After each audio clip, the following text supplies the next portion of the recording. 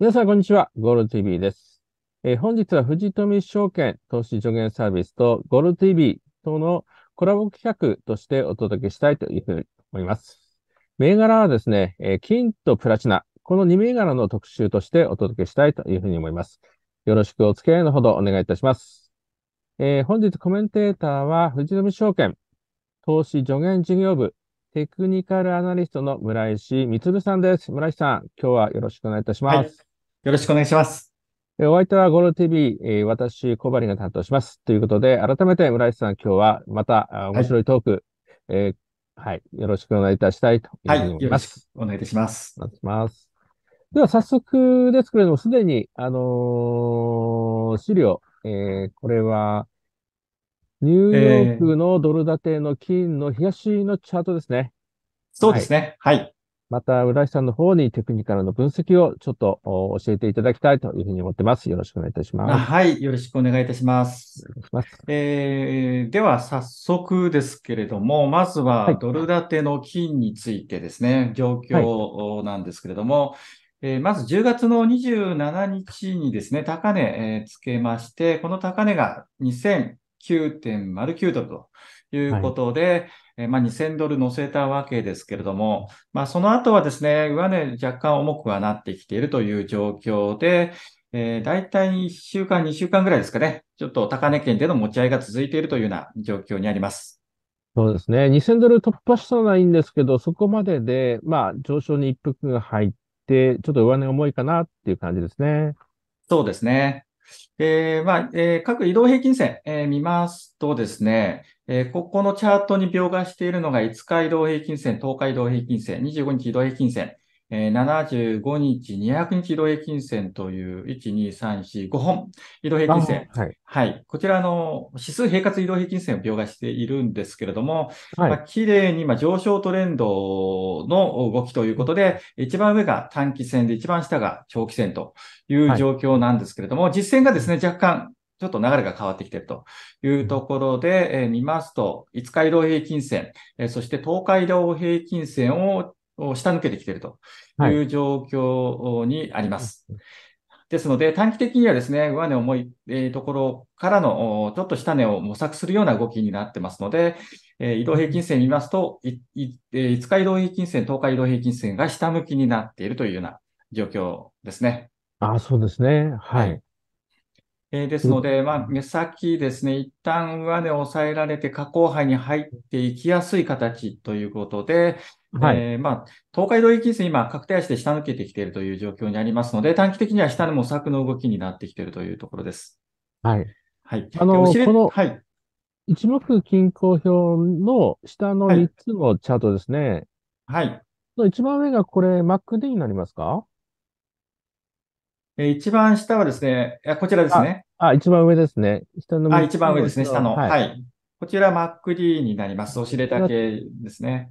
これがちょっとなんかトレンドが変わってきそうな感じが、はい印象がありますけど。でそうですね。はいやっぱり、この MacD ラインが、この赤いラインなんですけれども、今、下向きに変化してきているというところと、え下の青いラインですね。これがシグナルラインなんですけれども、はいこれが、ははい、デッドクロスしてきておりますので、その、ここにですね、棒グラス表示してますけど、これヒストグラムなんですね。はい。はい。で、えーこの、お MacD ラインとおシグナルラインがクロスすると、このお棒グラフがマイナスの方向に今、はい。下げてるという状況なので、ちょっと上値が重いという形にはなってますね。えーちょっとこれから下向きのトレンドが、まあ、はっきりしてくる感じもありますので、まあはいこの辺の指標指標を分析するのはかなり、えー大切なことですよね。そうですね。はい。あと、この下がですね、はいえーストキャスティクスになりまして、はいえーこれ2つともストキャスティクスなんですけれども、上の方がファストストキャスティクスで、下がスローストキャスティクスになってます。はいでどちらも、まあ、ストキャスティクスなんですけれども、えー私のこの描画しているものはですね、あの、ファストストキャスティクスはですね、ちょっと動きが、えーゆっくり、穏やかというか、ゆっくりなんですよね。はい。えーですので、今はですね、この80%近辺のところでの推移、下向きの推移ということで、はいえーまあ、このあたり指数未集権という形で、えー横ばい推移しておりましたけれども、若干下向きに変化しているといそう。形ですので、えー今までのこの上昇トレンドに変化が出てきているというようなうんあー形ですね。そので、その下の、下が、はい、下がですね、スローストキャスティクスですね。こちらも80%近辺で指数未集権形成していましたけれども、うん今ですね、下方離脱ということで、今、はいえーパーセント D の方がだいぶ下の方まで来ているという形ですすね。でねはい。はいえーですので、今の形で考えますと、下値模索のお展開を暗示する形になっているという状況ですね。ということは、一旦やはりこの2000ドル超えで、えー高値をつけたので、修正の動きに今入りつつあるという形ですよね。そうですね。で、この修正の動きですけども、はい。ドラシさんの分析ではいかが、いかがでしょう？どのぐらいまで見といたがよろしいですか？そうですね。まだこれから下降波に入ってくるとはいいうことになりますと、日柄がまだまだ十分ありますから、はい。えーだいぶ深押しする可能性も十分あるかなというところと、まあ、下値ターゲットとで見ますと、おやっぱり一目均衡表の雲とかですね、200日移動平均線あたり、まあ、このあたりが下値ターゲットになってきてもおかしくないのかなというところですね。ああ、ということは結構まだはい。下げ余地がなんかありそうな感じですね。また、この、えー見方に関しては、村石さんの、えー日柄の見方、はい日柄分析の方でまた詳しく、あの、お聞かせいただけるんじゃないかなと思うんですけども、まあ、今、この日、日足のトレンドで見る限りは、ちょっと修正数がまだ続きそうな印象がありますね。そうですね。はいまあ、例えば直近のお安値とこの直近の高値の値幅のですね、はい。えーどのぐらいまで押しがあるかっていうところで、フィボナッチリトレースメントを使ってですね、ターゲットをはい見てみたいと思いますけれども、はい。はいええええまあ、この値幅ですね。で、はい50%落ちというところがちょうど200日移動平均線の水準はい。ですね。はいええええはい。まあこれが1910ドル近辺はい。になってきます。えうーんーですので、えーそうですね、50%押しというところも視野に入ってくるのかなというといわゆるころですね。半値押しってやつですね。半値押しですね。はい。はい。あまあ、このあたり、はい。はいで、つえー深い押しになってきますと、61.8%押しから76.4%水準。まあ、はい。このあたりまでの押しも想定されますけれども、まだうん。今のところですね、えーまだ38.2%、そして50%押しというところが、えー下にターゲットとして見ていいのかなというふうに思っております。うん。マックスで3分の2押しで一目均衡表の抵抗体に入るかどうかっていうところがマックスの下げみたいな感じですね。えーそうですね。強い相場であれば3分の1押し、38.2%押しからの切り返しというところで、うんまあ、そうなると非常に強い相場にはなってくるんですけれども、そのあたりも、えーその水準まで押したところで、どういう形、動きになってくるかというところですね。そうですね。はい。ちょっと冷やしよりも長いあスパンのチャートもご用意いただけますか？はい。では、あの、えードル建ての週足の方ですね、えーはい描はい画いたします。はい。はい。こちら週足のチャートになっております。はい。はい。ああはい。このトリプルトップですよね。そうですね。ここに到達できずに、ちょっと今、上値が重くなっているというようなあ状況です。はい。はい。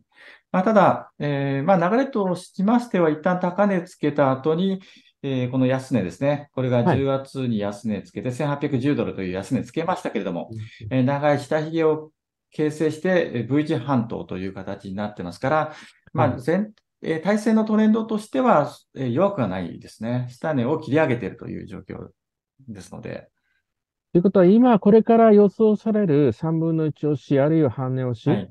はは、一時的には修正の動きというふうに捉えた方がよろしいですかね。そうですね。体制のトレンドで考えますと、修正の下げというう見方でいいのかなというふうに思います。それからまた本来の基調であるアップトレンドに入って、で、問題なこのボックスの上値を抜けるかどうかが大きなポイントにななりそうですね。そうですね。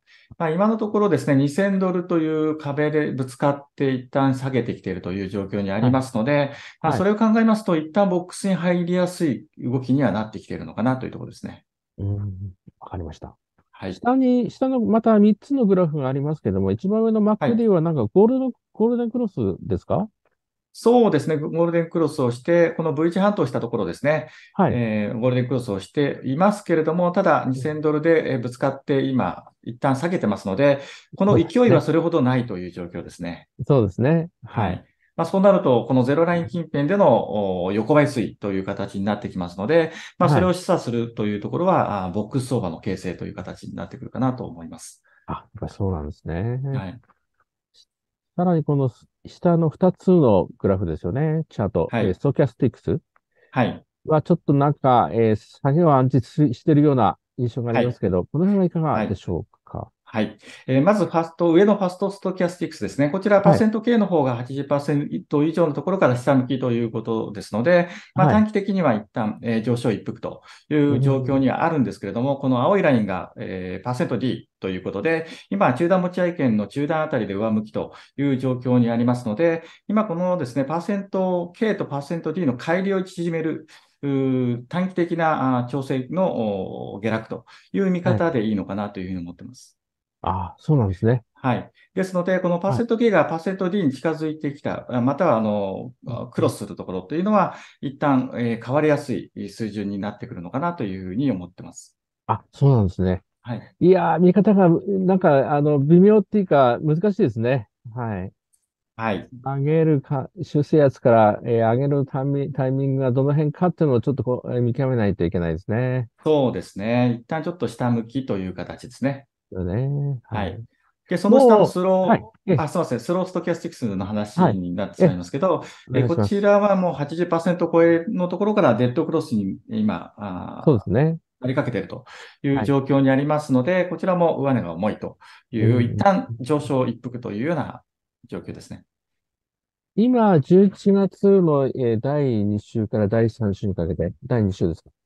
はい、まあもう年末まで1ヶ月ちょっとしかないので、一応年内の相場はちょっと修正で終わりそうな感じで、まあ、はい、トレンドまた再び変わるとしたら来年になってからですかね。そうですね。その可能性がちょっと高まってきてるかなというところですね。年内もあともうクリスマスシーズンがあと1ヶ月しか、はい、もう1ヶ月するとクリスマスシーズンで、まあ年内、えー、特にアメリカ市場は終わりっていうような感じですからね。そうですね。はい、そうなりますと動きも限定的という状況だと思います。ですよね。はい。様子見に入ってしまいますからね。やはり年末にかけてと。はい、そうですね。来年来年にかけてっていうような感じかもしれませんよね。はい。はい。よりこの長期のトレンドっていうのは、えー、はい。では、はい。月足をあ、はい。ありがとうございます。見てみます。はい。あ、はい。ありがとうございます。こちら、月足のドル建てゴールドですね。はい。はい。まあ、こちら見ましても、各移動平均線見てもですね、まあ、右肩上がりということと、はい、はい、短期線の5本移動平均線よりも実線が上にあるというところで、はい、えー、今、上値を上昇、体制の上昇トレンドを継続しているという状況ですね。これで見るとなんか強い相場なんですけどね。そうですね。ああ、でも一本調子で上がるってことはないので、やはり修正があって、はい。それがバネにまた上がるっていうパターンからすると、まあ、目先のしゅ、まあ、浦井さんさっき、あの、おっしゃられた、えー、目先の修正圧。はい。まあ、それが一巡する時期をちょっと見極めれば、はい。また買いのチャンスの時期が、まあ、予測できるかなっていう感じがしますよね。でそうですね。これがどんどんですね、この値動きが小さくなってきているというところで、うんうん、まあ、三角持ち合いというような動きになってきているというところありますので、はい、まあ、一旦は調整という動きになってますけれども、まあまあ、再びですね、上値を試す時がですね、えー、来るのではないかなというふうに思ってはいます。一目均衡表からはちょっと上の方に位置してますので、まあ、基本的には強気のトレンドは変わらずっていうふうに判断してよろしいですかね。そうですね。はい。はい、今、トリプルトップをつけてますけども、このトップとトップですね、はい、高値と高値のね、あの、日柄ですね。日柄が、はい、はい、短くなってきていますので、次の日柄も短くなるという想定ですね。三角持ち合いでどんどん動きが、えー、小さくなっていますので、ああ、えー、はい。まあ、それを考えますと、前回がですね前、前回の高値から前回の高値まで、えー、考えますと15本ですか。15 15本。本ですので、えー今回はこの前回の高値から15本も経たないうちに高値を取り取りに行くとあいう考えもできるかなというふうに思います。15本っていうことは、約3、ん ?3、4ヶ月ぐらいですかね。15、おあの、1本が1ヶ月ですあ、ので、そうだ、そう10だ、そうだ、はいそうですね。はい。15本。で、例えば、はいそうですね。えーで、次回が10、まあ、11本とか12本とか10本前後で考えるとですね、今もう半分折り返し地点に来てますから、ああ、ええ、ええ。はい、ええそうすると、来年のお前半あたりに再びトップをつけに行く可能性もあるのかなというところですね。あ、そうなんですね。はい。来年前半。春相場、じゃあ期待ですね。そうですね。の。はい。はい。実際この、また下のあの、ストキャスティックスの、えーチャートなんか見ると、はい。まあ、修正終わった後、また上値試しそうな、はい。ちょっと印象もありますよね。そうですね。まあ、 MACD がですね、今のところはいプラス圏にあるというところと、ファストはいストキャスティックスが今、中段持ち合い圏上限で持ち合いですし、はあとスローストキャスティックスも中段持ち合い圏でゴールデンクロスという状況なので、底堅さはあるというところですね。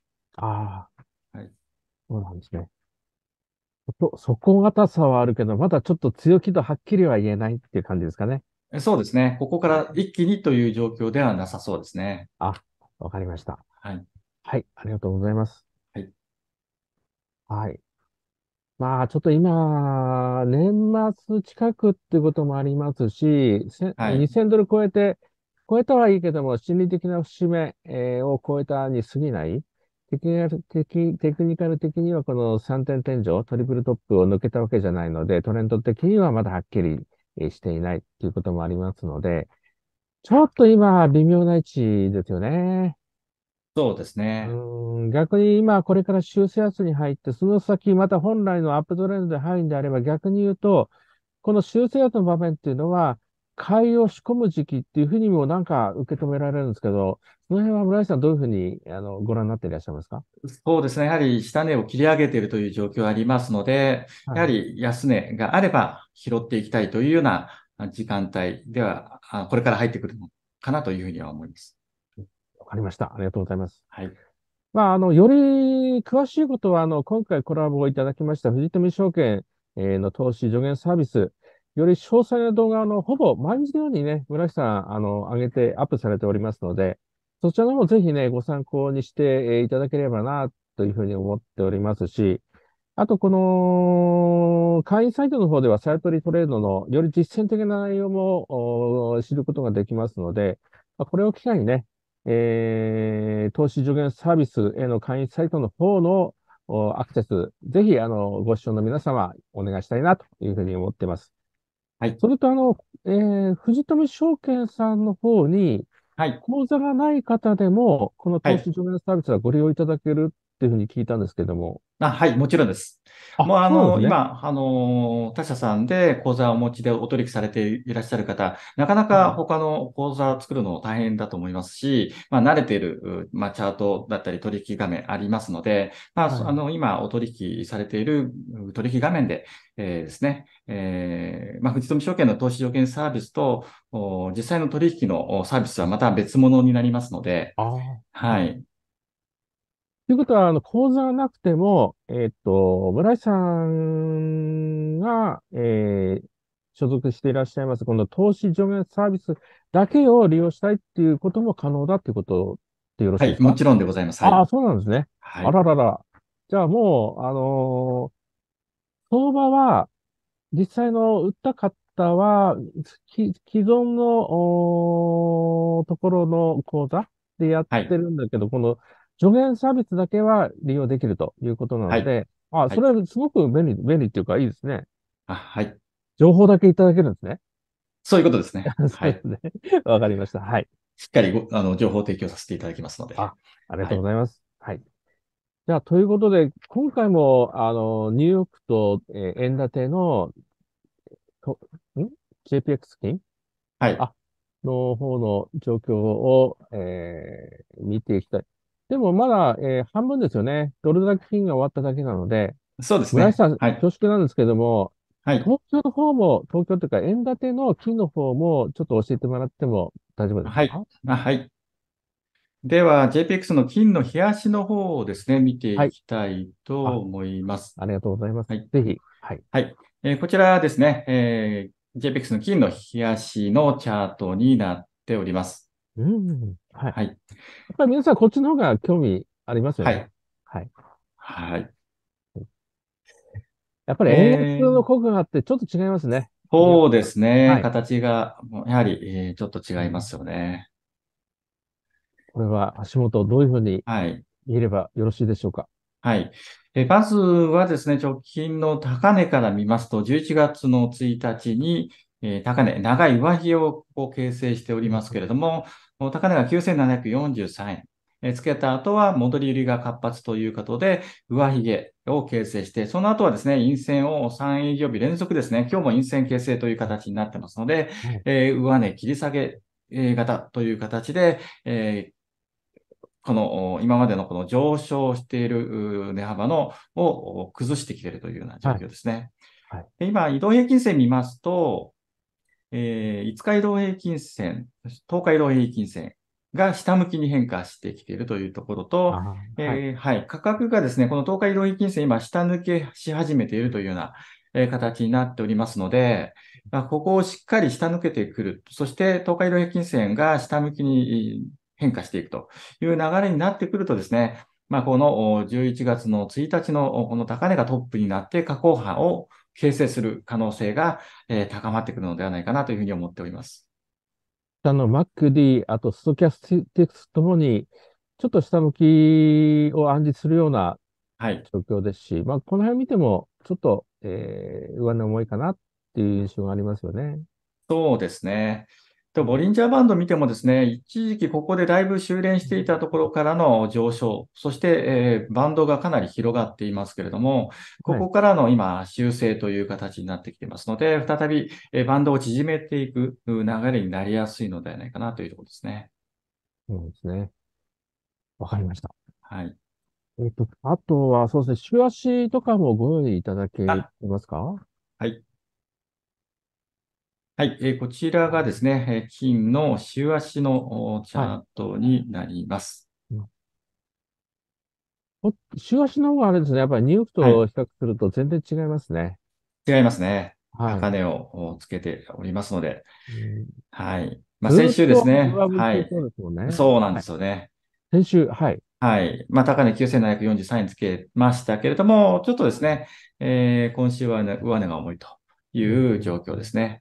まあ、ただ、各移動平均線見ますと、すべて上向きで、えー一番上が短期線で、一番下が長期線ということで、まあ、綺麗な体制のお上昇トレンドは継続しているというような状況ですね。ああ、はい。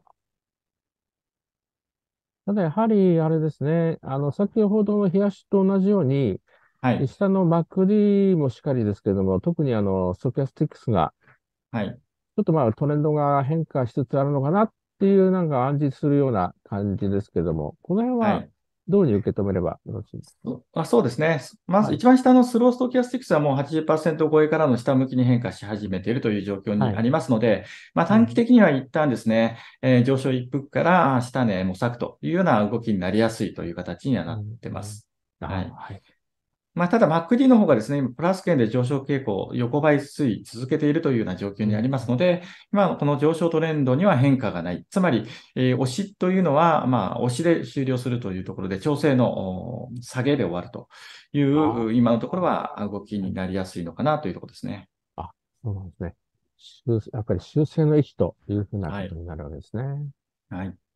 あ、恐縮ですが、最後にあの、えー、より短期の今度240分足、前回あの、ご紹介いただきましたけども、はい。今回も、あ、はいこれこちらですね。あ、はい。こちらが240分ですね。その方の分析もちょっとお聞かせいただけるとありがたいんですけど。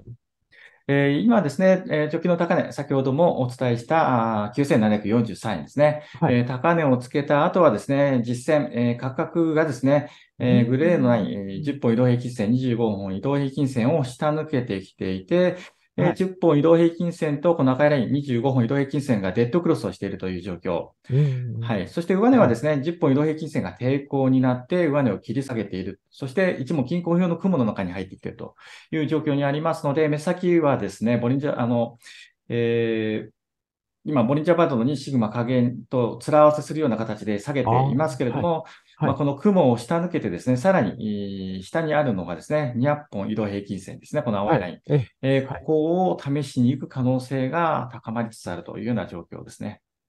そうですね。どっちかとやはり、あの、下降傾斜に入りそうな雲行きが濃厚だという感じですかね。そうですね。短期足を見ますと、やはりえー5本、10本、25本が下向きでえーデッドクロスをしていると。で、実践も今、あーこの黄色いラインが75本移動平均線ですけども、まあ、ここを下抜けて、そして一目均衡表の雲を下抜けて、えー下落エリアに入ってくればですね、えー一気に流れが変わりやすいのかなっていうところですね。ただ、あの、下のですね、ストキャスティクスを見ると、ちょっと値いっぱいかなっていう感じもしないでもないんですけども、はい。で今ですね、この、例えばファストストキャスティクスがですね、80、はい20%以下のところで指数密集圏継続し、形成してきていると。まあ、はい。横ばい推移になってきているということで、これは何を意味しているかと言いますと、今のこのお高値をつけてからの上値切り下げ型の動き、これに変化がないという状況にあります。ああ、そうなんですね。はい。はい。で、その下のですね、スローストキャスティクスもですね、は50%い近辺まで上昇したところもありますけれども、えーその後はほぼ25、えー20%近辺のところで横ばい推移という形になっておりますので、こちらもですね、短期的には今のこの流れに変化がないという、いとう。はい、形になってますね。ですので、まあ、下値模索の動きを続けているという見方ができるかなと思います。これ、あの、抵抗体、静岡県のちょっと時間の問題って感じがしますので、まあ、やはり、えー、修正圧はまだ始まったばかりというような、なんか感じもありますね。そうですね。これ、まあ短期戦なので、例えば、どこまで下げるかっていうところで、フィボナッチリトレースメント、先ほどおドル建てのゴールドで、えー描画しましたけれども、直近の安値と直近の高値の値幅ですね。まあ、これの何パーセント押し水準うんになるかというところで考えますと、まず下値がですね、80 38.2%押し、これが9330円近辺ですね。ははいい。まあ、ここに下げてくると、この200ポイント平均線がちょうど同じぐらいの水準に入ってくるかなというところうん。はい。ああ、はい。で、これを下抜けてくると、今度は、えー半値押しで9200円近辺ですね。ああ、はい。はい。うんで、あの、よくですね、大きく下げた場合に61.8%から76.4%のこの水準うんあたりで長い下髭の判定のサインということが、ああーよくあのはい出現します。まあ、その場合で考えますと、お9000円えあたりというところですね。うん。うんは。はいい心理的節目の9000円というところまで、はい。はい、下値ターゲット、視野が入ってくるという見方もできるかなというところですね。半値押しで約500円、えー、3分の2押しで約700円から800円ぐらい、えーマックス下げる可能性があるということですね。逆に言うと、はいね、年末に向けて、まあ、これだけ、まあ、半値押しで、まあ、500円ぐらい下げますので、はい。まあ、なんか、買い気を誘うって言ったら あれですけど、そうです拾ね。買い拾え、買い拾いたいような水準まで、ちょっと、はい。そんな感じですね。なかなかね、高値で、あの、新規に買い入れたいさって、ずーっと、あの、アップトレンドで、なかなか新規の買い入りにくかったんですけど、はい。ここで調整が入れば、ちょっとね、やっと、そうですね買い気買いやすいなと。は買い買いやすいですよね。がはい。はい。だから、チャンスじゃないですかね。あの、金はいが、あの、最高値更新更新で、一応、いろんなニュースになってて、あ、金買いたいなって人ね、あの、私含めてたくさんいらっしゃると思うんですけども、なかなか買い場がなかったんですけど、今の村井さんのこのね、あの、説明からすると、やっとこの修正安が来る。ちょうどこの買いを、買い仕込みたいような、なんか、はい。感じがするんですけども。そうですね。これはいから期待感が高まってくるというような、えー時間帯にえー入っていくというところですかね。金相場って結構春高のパターンがなんか多い感じがするので、はいえっと年末買い仕込んで春高に期待するっていう、まあ、投資のやり方もあるかなとも思いますし、はい。はい。ちょうど、えーはい。あの、買い狙いの人にとっては、いい買い場になる可能性がありそうですね。そうですね。はい。の、冷やしベースのおサイクルですね。はいタイムサイクル。で。考えますと、えええええー前回の10月の安値からあカウントすると、今日で21日目を形成しているんですね。はい。で平均のボトムのサイクルが37本ということで、うんまあ、平均でもしボトムをつけるのであれば、あと16日程度日柄があるんですよね。はい。でそれを考えますと、うんおそうですね、えー今日11月の7日ですので、えーはい今日からカウントして16日後お前後にうんボトムをつけるかつけないかというところでですね、注目度が高まってくるのかなと思ってます。えっと今月後半、末、最終週ぐらいですよね。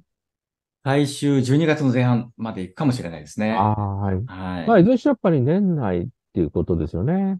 そうですね。その可能性が高まってきてるかなというところですかね。はい。まあ、もちろん今後の動きによって長くなったり短くなりますので、まあ、はいそのあたり、プライスアクションの判定のサインなどを見極めながらというところですね。うんまあ、その辺の買い場チャンスなんかもこの投資助言サービスの方で、まあ、はい教えてご、ご、ご、ご教示いただけるってことになりますよね。あ、そうですね。はい。もうしっかりいくらで買う、いくらで売るというのをお提示させていただいておりますので。